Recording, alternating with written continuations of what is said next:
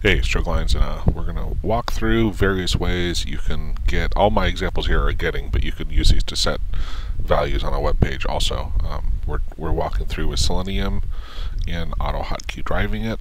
Um, right now I have all these different ways, and I've just commented um, most of them out, except for one. We're going to do one at a time, that way it's a little clearer of what is happening here. I think if they were all visible, you'd get a little lost. And if you haven't seen the other ones, there's there's another video where I walk through launching Chrome. Um, sorry, I'm I'm launching the Chrome driver here with Selenium, um, navigating to my page. But go check that one out. And also, I did an intro to getting data from a page, and that's probably a good one to watch before this because I'm not going to talk to a lot of the um, other aspects of it of, of what these other things mean. So let me with that. Let me save, reload. I'm going to launch it. And here you're going to see right now we're going to get by tag name. Um, and this is the get elements by tag name. Uh, and actually that was that threw me for a while. So it's by tag, right? It's not tag name. And here I'm getting an array. You know, I should have had by name. This is an array. Um, I think, and I haven't actually tried this, but this, what I've found is they have two. So let's say find element by tag, and let's remove this. When I remove this, now this will turn back the just first. Now I'm going to save this, reload it. Now we're going to have two here on this one. So I, I lied. We'll, we'll do these two together. Um, hopefully this brings back the first paragraph because I didn't specify which one. And, and when you use it without the S and you say just give me that, it should return the first one. Let's see if it does it. Ah, look at that. So that grabbed my first paragraph, and if I had my uh, browser tool up, you'd see it, but um, let's not worry about that. And the second one will be the same exact thing because this is by tag name. Let me go in here um, and see here we're, we're specified. this one is no S, this one has an S, this one I specified the item is, and they're um, they're not zero based. They start at one, so that's an important distinction to remember with Selenium. And so this is just first, and this, oh, sorry, wrong, wrong one. Um, so that's the first in an array, and this is just first, there. Okay. So, alright, we've documented that one. I'll comment those two out, and let's get this next one. So ID, there is no multiple in IDs. So there is no S you can add to this and get the second ID of the same thing. Alright, I got my ID. So let's comment that out. And we'll go, let's do the next two, because this is similar to the, the tag, get by tag, instead of tag name, remember it's tag. Here, we're getting the element by name, and this of course will return just the first one. So if you just want the first one, this is convenient. However, you have to remember two different types of syntax, right, to add in if you want um, whether you want, I could get the first one, right, by putting this, and I could just have one consistent call, which is probably what I'd prefer. That way it's just simpler to memorize the syntax. Um, but here I'm getting the second one. So, um, you know, let me add here. First, try to be consistent just first. And um, this is returning an array, but it's the second one because it's the second. So I'm going to save this, reload, launch.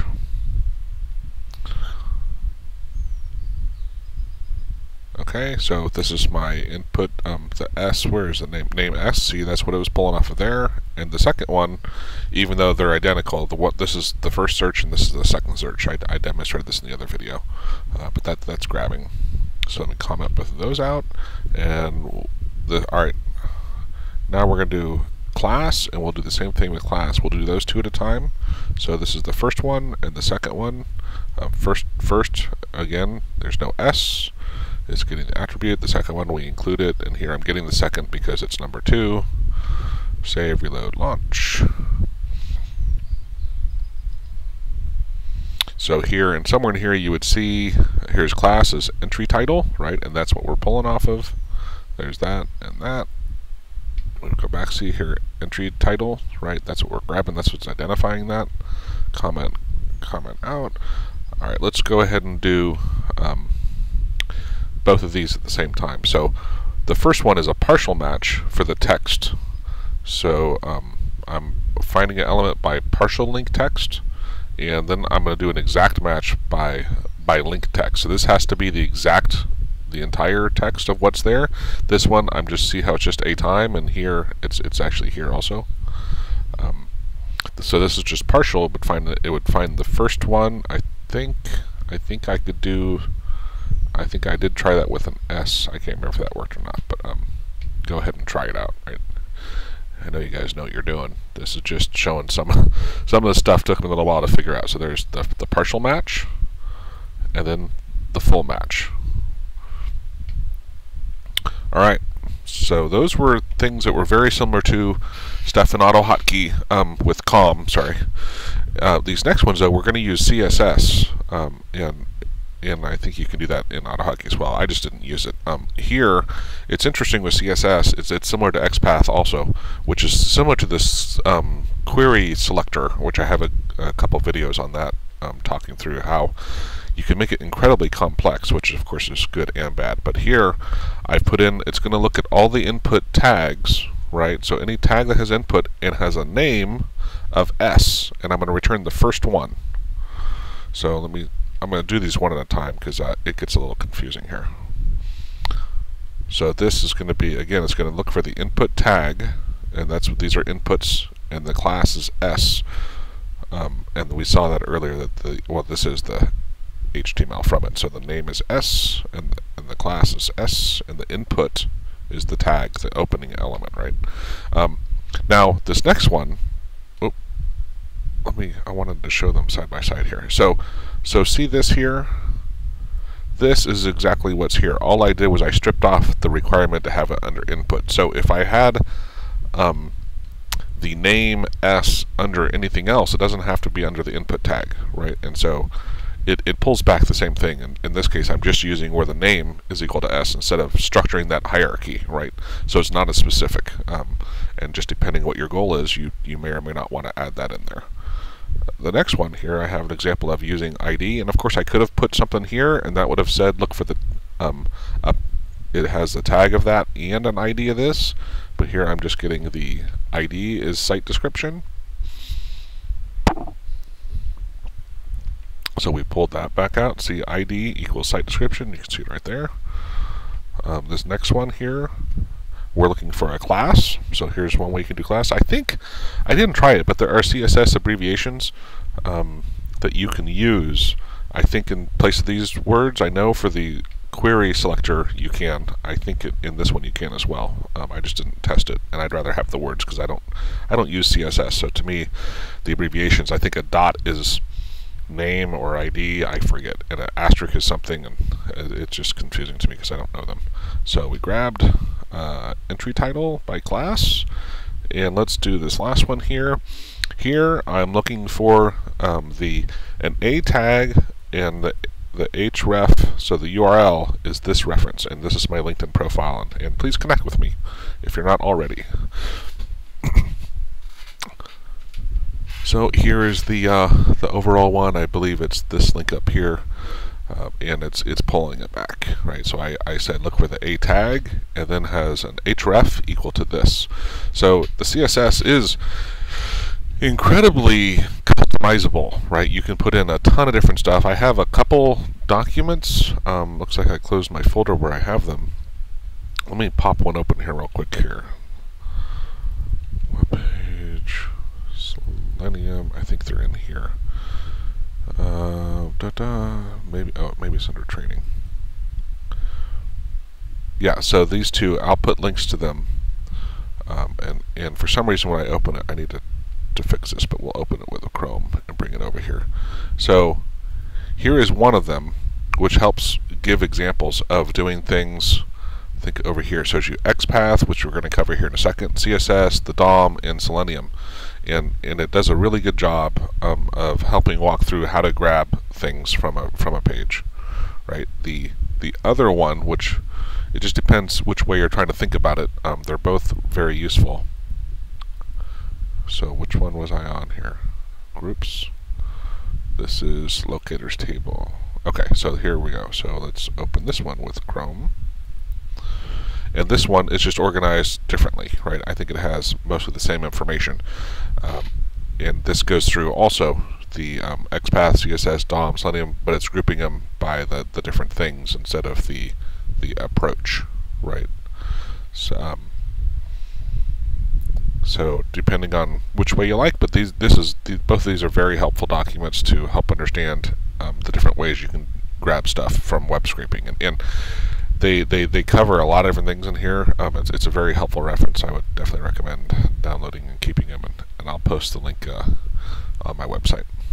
All right, so that was there. Now in XPath, XPath is pretty awesome. Um, I wish uh, I could I could use it more, especially with the IE COM version, because uh, once you understand XPath, it, it's amazing of, of how much you can grab a lot of different things under it um, and how you can specify. I didn't get into here, but the query selector all does a similar approach where you can get all the things under something and, a list of them and be very particular. So anyway, we'll go in here. I'm going to launch this, and I'll you know what? I'll let's go ahead and launch it, and then I'll show you how you can get the XPath. Um, there's two different ways. If you're a Firefox user, this FirePath add-on um, is very handy.